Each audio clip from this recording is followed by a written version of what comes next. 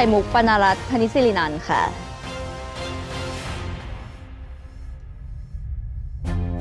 ถ้าเกิดเราอยากเห็นการเปลี่ยนแปลงอะเราทุกคนต้องเป็นส่วนหนึ่งของการเปลี่ยนแปลง ถ้าเราได้แต่คิดอะแล้วเราไม่ทำอะแล้วเมื่อไหร่มันจะเกิดขึ้น ปกติแล้วแต่ละปีเราก็จะจัดบริจาครวบรวมแบบสิ่งของเครื่องใช้ต่างๆ แล้วก็ไปบริจาคให้กับคนที่ยากลำบากหนึ่งปีเนี้ยเรามีโอกาสทำแค่ 2-3 ครั้ง การช่วยคน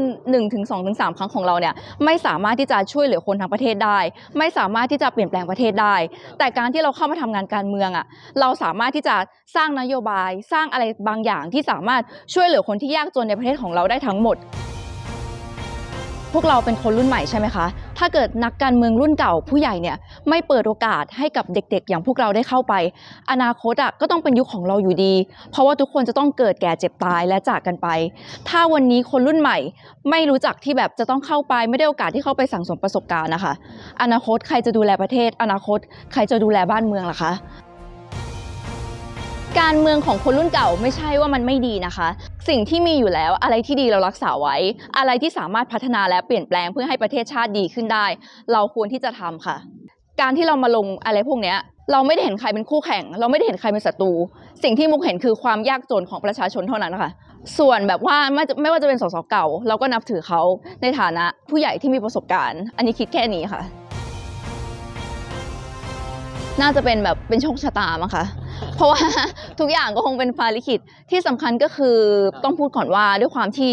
อามุกเป็นผู้หญิงค่ะ ก่อนหน้านี้ก็มีประสบการณ์ในการแบบรณรงค์เรื่องสิทธิสตรีต่างๆ อะไรอย่างเงี้ยค่ะ แล้วก็ชื่นชอบนโยบายของคุณหญิงสุดารัตน์ก็มีนโยบายในพักไม่ว่าจะเป็น 30 บาท plus แล้วก็นโยบายบำนาญประชาชน 3,000 บาท ซึ่งมุกรู้สึกว่าเป็นนโยบายที่ช่วยเหลือคนตัวเล็ก ซึ่งมุกก็เป็นผู้หญิงตัวเล็กคนหนึ่ง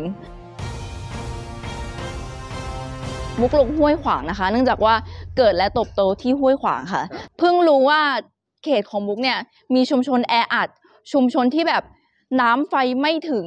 ชุมชนที่แบบแม้กระทั่งที่นอนก็ยังไม่มีอะยังมีอีกเยอะมาก ไฟการจราจรนี่ตอนกลางคืนนี่สว่างสดใสแน่นอนนะคะ ไม่อยากให้เกิดอุบัติเหตุบนท้องถนน ทางม้าลายเข้มนะคะ ไม่มีจืดจางแน่นอนค่ะ เห็นชัด ไฟติดตอนกลางคืนไม่มีดับ ถนนจะต้องเรียบ ถ้าหนูได้เป็นผู้แทนของห้วยขวางค่ะต้องบอกตรงๆนะคะว่ามุกนะคะไม่ซื้อเสียงค่ะ มุก ไม่อยากทำการเมืองแบบแบบที่ผ่านมาค่ะ มุกชอบการเมืองแบบที่เราใช้หัวใจคุยกับประชาชน ถ้าวันนี้มุกจะไม่ชนะ วันนี้มุกจะพลาดพลั้ง มุกไม่เสียใจค่ะ เพราะว่าอย่างน้อยเราได้ใช้ใจคุยกับประชาชนจริง ๆ แล้ววันหนึ่งการเมืองแบบนี้จะต้องกลับมาอย่างแน่นอนค่ะ การเมืองที่เงินไม่สามารถซื้อทุกอย่างได้ค่ะ เราอยากเป็นว่าที่สสที่สัมผัสกับประชาชนแล้วก็ใกล้ชิดที่สุด ใช่ค่ะ ได้พูดคุยกับประชาชนใกล้ชิดที่สุดทำให้เขารู้สึกว่า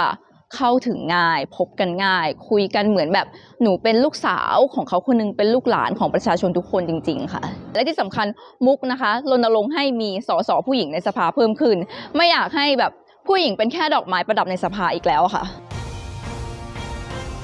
ข่มุกปนารัตพนิศิรินันนะคะ เบอร์7ค่ะ เขต5นะคะ ไทยสร้างไทยนะคะ ไข่มุกคนรุ่นใหม่หัวใจประชาธิปไตยไม่ผ่านงบประมาณแผ่นดินนะคะ 14 พฤษภาเดือนหน้านะคะอยากให้ทุกคนออกมาใช้สิทธิ์เลือกตั้งกันเยอะๆนะคะ การเลือกของทุกคนนะคะ สามารถเปลี่ยนแปลงประเทศนี้ได้นะคะ